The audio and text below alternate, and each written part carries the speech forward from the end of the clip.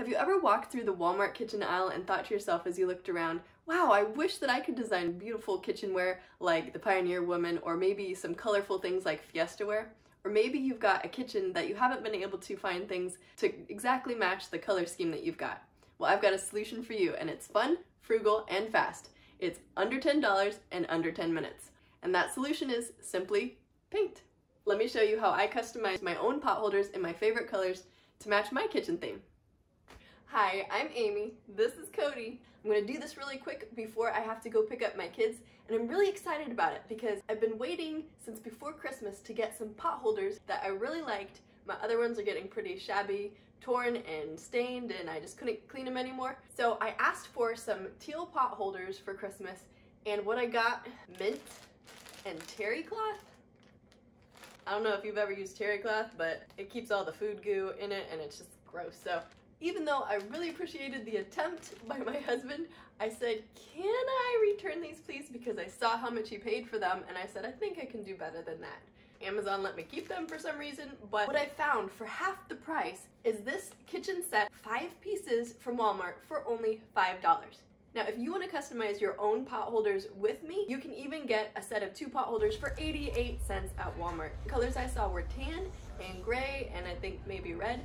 So if that's within your color scheme, you might want to check that out too if you're not interested in the towels like I was. This is pretty close to the color I want, but I want to customize it with some really cool designs. About a year ago, I customized my kitchen carpet. I'll show you a picture where I used spray paint to do a geometric design in my favorite colors because I couldn't find what I was looking for in the stores. And I just decided, hey, I've got this hand carpet that's the right size. Why not customize it?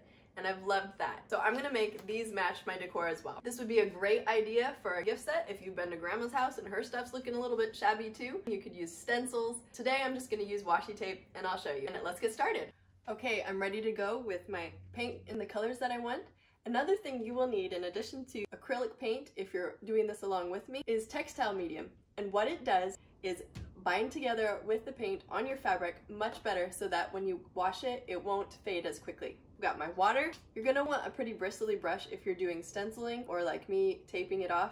You could also use something like these, uh, Tulip Color Shot Instant Fabric Color. And these are the colors I want, but I'm not gonna use this because I don't wanna have to spray paint it. I'm not gonna do that inside. I don't wanna be cold outside. And I also want more control than that, so I'm going with the acrylic paint. And those are only about 50 cents a bottle, which is great. And I'm gonna get started taping off my design. My goal is to get done in 10 minutes. So here I've got my washi tape and I'm going to pick my thinnest ones. Got quite a bit thanks to a friend. Appreciate that, Sarah. Thank you. I've got a picture for reference of the design that I want to duplicate, like I said, matching my carpet, and I'm just gonna go for it. Things don't have to be perfect. That's the charm of homemade. And then I gotta press it in so that it sticks in the little quilted areas.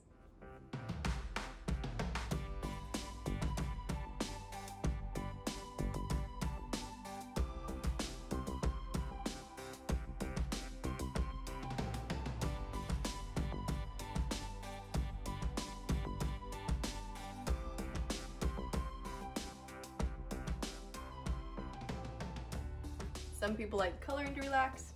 I don't really, that kind of feels like homework to me. I like taping and painting.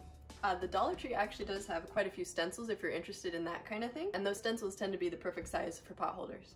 It helps that I had this design kind of mapped out when I did it with my carpet, but if you want to look up geometric designs with tape for painting, that would be an easy way to find something fun similar but more simple. Hey, if you do a project like this too, or any other creative project, please go over to my Aim for a Creative Life page on Facebook and post pictures so that you can inspire others with your creativity and make the world a brighter place. Or you could freehand dab on some your favorite colors. Okay, I'm good to go with that one.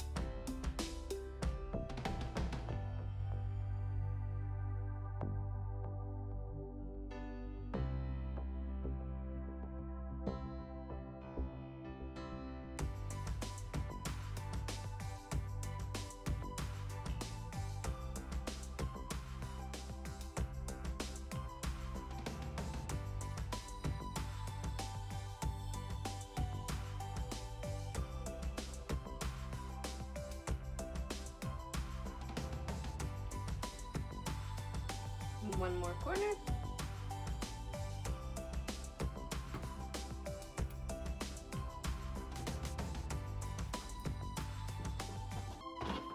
All right, I've got them taped off and ready to paint. Uh, I think I'll do, maybe I'll just do, I think I'll do a band. I'll do a band right here. Just go all the way around.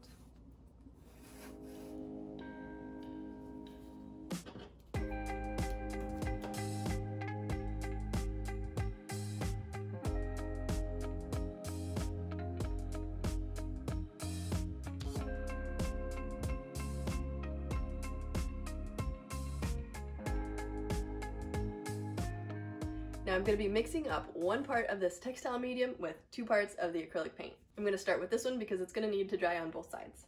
Just going to do a big old blob of this. I think it's pretty liquidy. Start with my teal. Alright, I think that's a good mixture.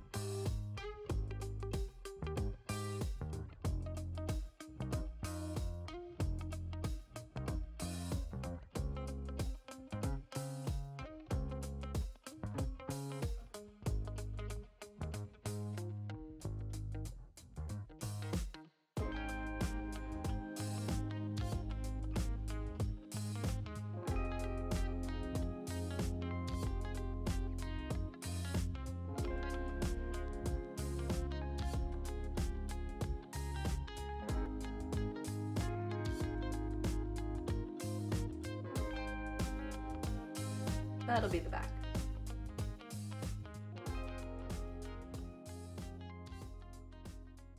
So I said in my breast cancer awareness painting video that I don't want to be a perfectionist when it comes to art because if I don't have a lot of time to do a project and I'm worried about making mistakes, then I probably won't do it.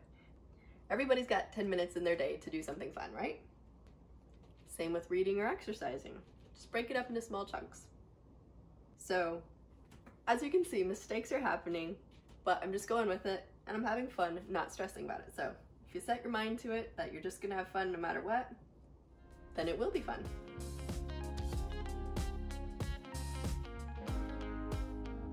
All right, I think I'm done with the painting, so I'm going to just start peeling off and call it good.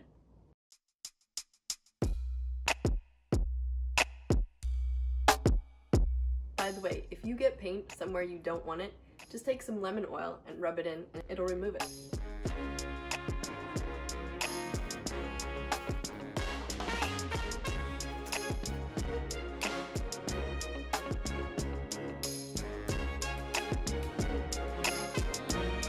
Did you ever have that fingernail polish when you were a kid that you would paint on and peel off?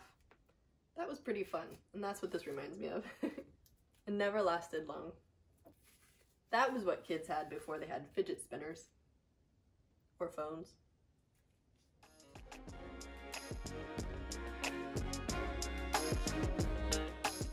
Well, there you have it. My favorite colors on pot holders for my kitchen. Not perfect, but a lot of fun, and I'm excited about using these when they've dried. So the textile medium instructions do say to heat set, so I could either run it through the, the dryer on hot or iron it. But in any case, I can't wait to use these. Okay, if you enjoyed this video, be sure to give it a thumbs up, hopefully a painty thumbs up, and click subscribe below if you haven't already. Hit the notification bell so that you'll know when the next video is up. Your comments always encourage me and I'd love to hear from you. Alright, I'll see you next time with lots more content about intentional creative living. Have a good one. So the instructions for this do say to seat head it. Seat head it. This is Cody.